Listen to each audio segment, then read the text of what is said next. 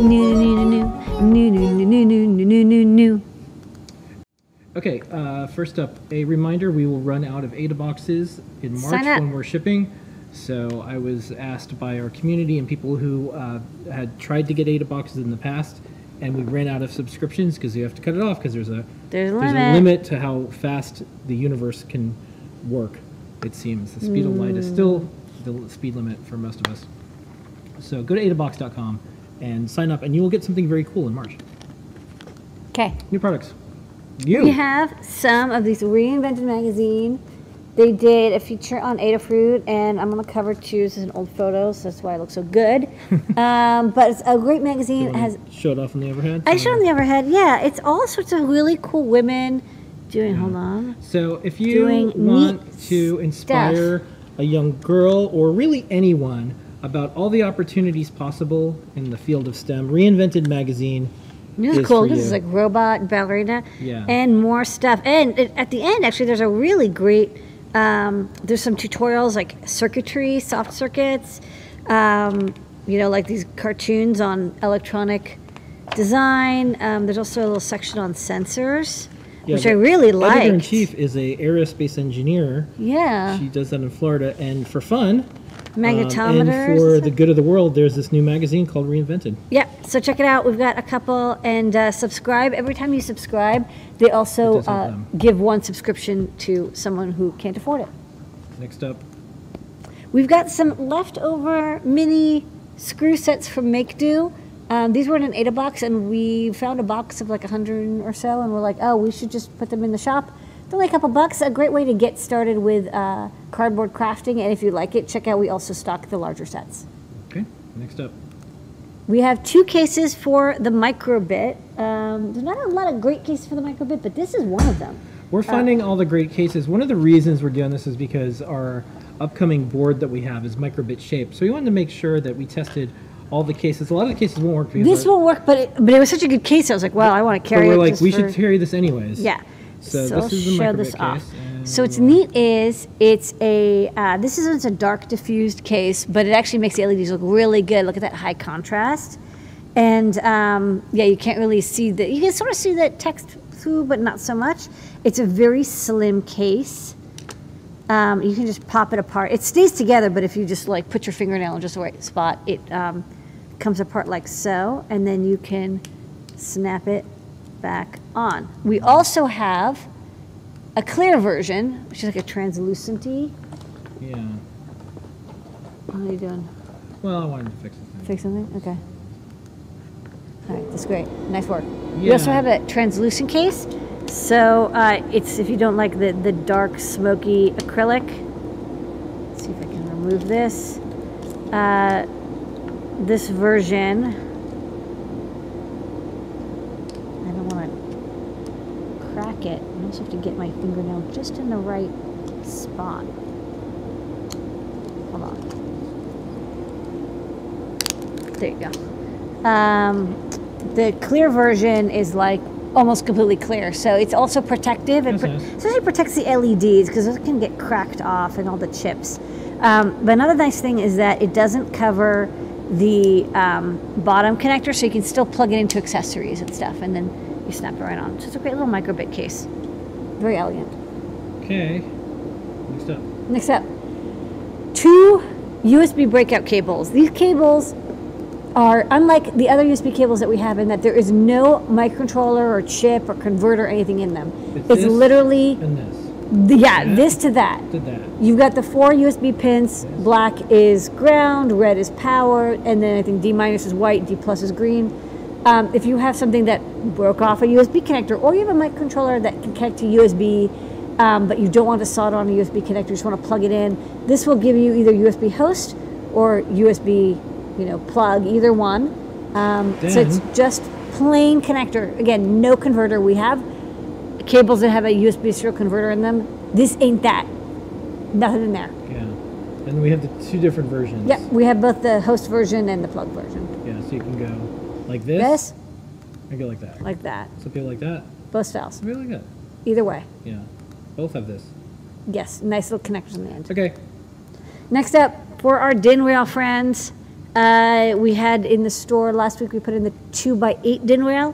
We also have the huge chunkin 40 pin two by 20. It's really big. I'll show some of the over because it's hard to see the scale. Chunk. It's big, but that said, if you have something, the reason we pick two by 20 is, of course, um, for uh, Raspberry Pi. That's the you know the most common connector, but also a lot of single board computers have a two by 20 connector, so you can latch that on here, connect this to whatever you want, and then you have uh, beautifully labeled breakouts for uh, terminal breakouts for every pin, and it goes on your DIN rail for easy mounting. So. Um, I don't use DIN rail that much, but I know that there's a lot of makers and crafters that do. Uh, comes a little kit. You just have to screw these pieces on, and look at all the terminal blocks you get, and they're so nicely labeled. Wonderful. So perfect for Raspberry Pi or other things, and then pick up one of these cables if you want to uh, break this out and connect it to something else. Not included, but it's another couple bucks. Uh, by popular demand, some people want us to carry higher power inductive charging kits, and so we did. This one is the one we had before is 5 volts, you know, half an amp. This one is 5 volts, 1.2, 1.3 amps. And yeah, you actually can get that much power out. You need to give it 9 to 12 volts, maybe up to 20 volts on the input. I didn't try over 12.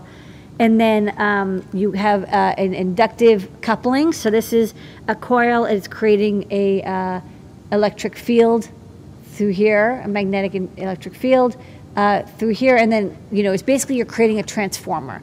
When you have this coil over here, um, the magnetic signal couples in, electrical signal couples in, it uh, then induces a current into here and output.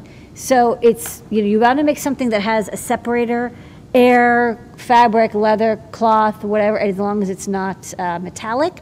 You can put it in between, and you can pass power without having to have it be electrically connected. So let's demo. This, I'm just going to plug in a 9 volt over here. It works. And then, yes, this is, yeah, you can't see it because we can't see that electromagnetic spectrum, but there's signal coming out of here. And then I just put a uh, 1 watt white LED over here on the output. And you'll see as I get, sorry, as I get closer, it gets brighter as more current is coupled in until it's ridiculously bright and that hurts. Um, so it, it does matter how far away you are. So the closer, I'll show this to the side. You can be, you know, this far and you're getting maybe, you know, 100 milliamps, 200, 300, 400, 500, up to when it's touching, you can do, you know, 1.2 amps. So um, you want to have it be coaxial as much as possible. Again, if you slide it away, you get less current until it's, you know, kind of close. So you do have to get it uh, somewhat lined up and you don't want it to be too far. Uh, but this is a high current converter, so great if you want to charge um, a project without any wiring. It is kind of magical. It works a little bit like those toothbrushes, you know, the electric toothbrushes. You put on the stand, um, it charges something up. So This can do up to uh, 5 volts, one plus amp out. Okay. I've had a stemma dilemma for a while. Well, your stemma dilemma is I've had a stemma maybe dilemma, solved. and I feel like there's hope for me now, because I like Grove, I like Qwiic, I like Stemma, I like Stemma QT, but What if you had to convert them all? So this is a cable that takes a JST-PH. It's a two millimeter pitch cable. is it this one? no, it's the previous this one. It's This, one's two this, millimeter. and it goes to converts that. this. Two millimeter JST-PH to one millimeter JST-SH. The two millimeter JST-PH is the same size used in our stemma board. So a lot of our boards like the PyBadge, the Hello Wings, you whatever, what have you, if it has this big connector on it, it's a I squared C uh, breakout connector uh, that is very easy to connect to. Um, now you can use it with all of our little breakouts that have the mini connectors, just a little large to small adapter. You can also use these uh, to connect to Grove hosts. So this will connect to a Grove or Stemma, or I think also there's a couple other like Gravity or whatever, the very equivalent-ish uh, cables. The pinouts the same, and then it'll connect to uh, Stemma QT boards. Like this is a thermal camera, and you can see uh, it's well. Hold on, it's upside down, but it can. Whoops. Hold on. It uh, it can see me. Hi, hello. Um, over here, so I can just wave. Um, and then uh, it plugs very nicely, can connect to um, QT, QT sensors.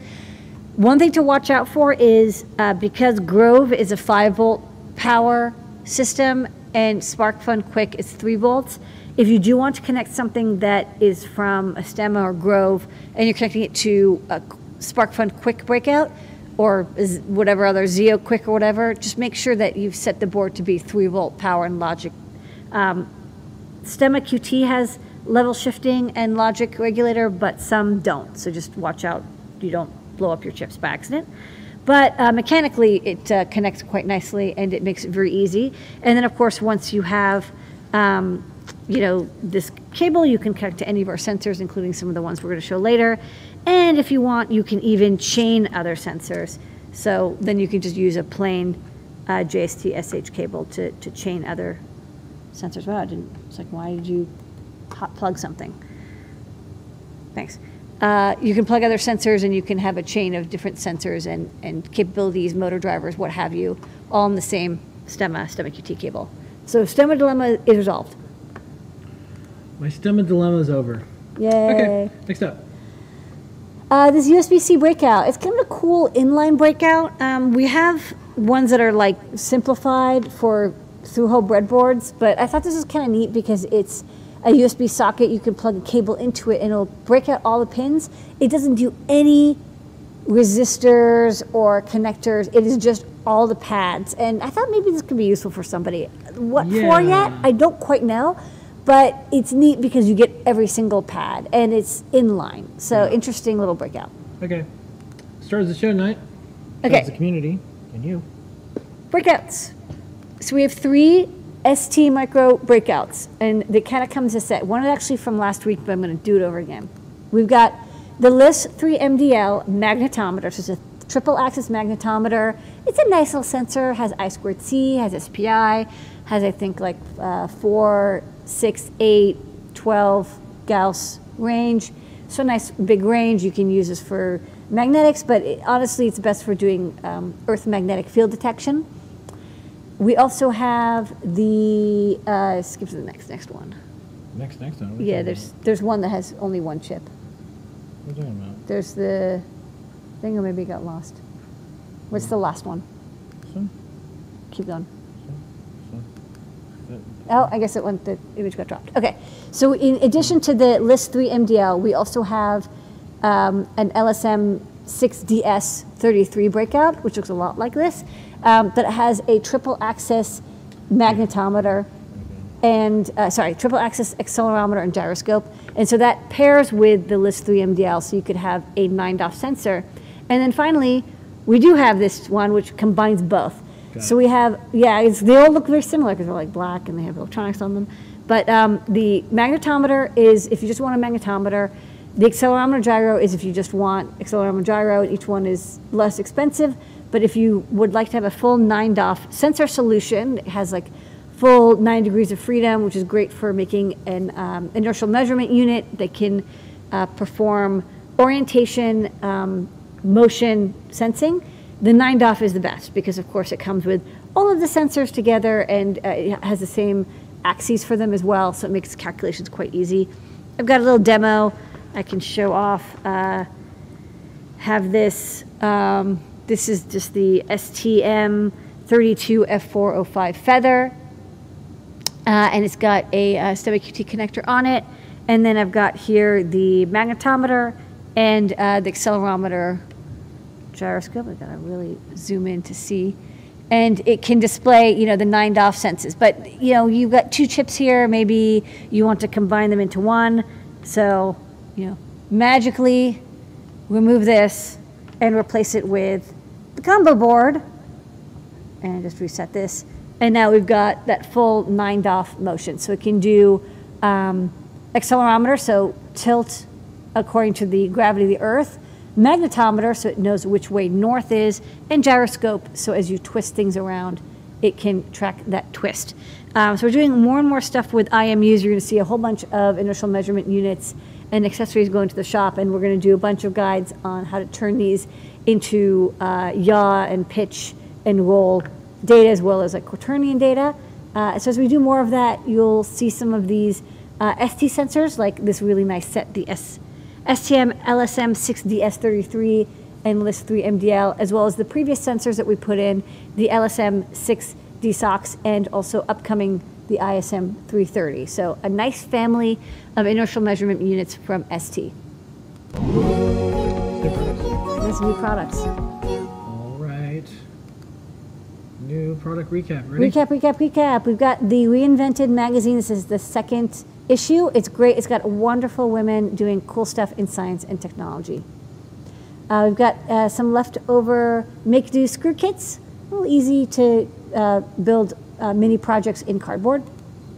Two cases for the microbit, smoke gray and uh, translucent. These are very simple protective cases for microbits. We have plain USB type A host and peripheral uh, connectors that have no converters inside of them. It's just the USB data and power cables. For DIN rail fans, we have a 2 by 20 uh, 40 pin DIN rail breakout. It's huge, but it has every pin. Great for single board computers or Raspberry Pis or anything else that has a ton of GPIO that you want to mount. A high powered inductive charging kit. This kit can give you up to 5 volts, 1.2, 1.3 amps out. So if you liked our half amp 5 volt uh, inductive coupled um, uh, output uh, converter, uh, you'll really like this one, which gives you two, two and a half times as much power. Uh, for those who have a STEMMA dilemma, you have something with a STEMMA port and you want to connect a STEMMA QT sensor or device, congratulations. Also works great with um, SparkFun Qwiic and Seeed Grove. It will convert larger connectors to small connectors over for I2C.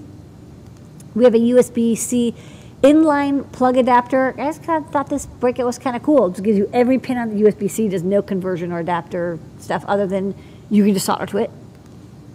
And we have a family of ST sensors, the LIS3MDL um, triple axis magnetometer, the LSM6 DS33 triple axis gyro and accelerometer for 6 DOF, and of course the combo board, which gives you uh, all of the above. Wow, amazing. 9 DOF sensing in this little package is very affordable and really good quality. Um, so great um, matchup for your STM32 F405 feather. Just plug it in to get 9 DOF IMU action going.